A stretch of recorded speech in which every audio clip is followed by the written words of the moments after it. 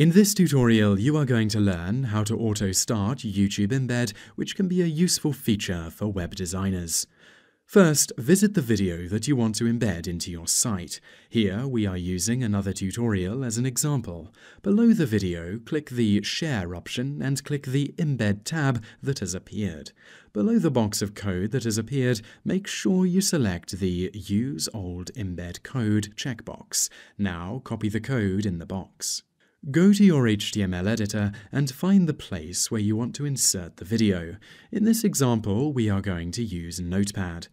Look for the YouTube link in the code, and at the end of the video ID code, a series of random letters and numbers, and before the question mark, type ampersand autoplay equals 1. Repeat this for the second link in the code. Now we will save this file with a .html extension locate it on our computer, and open it. A web browser window will open and you will see that the video starts to play automatically and that is how to auto-start YouTube Embed.